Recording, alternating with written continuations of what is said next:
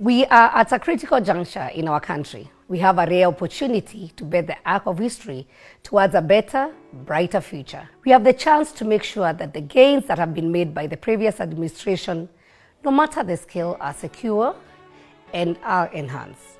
Change requires action. You may not want to lead a march or picket outside an office, but there's one very powerful thing that you can do. You can vote.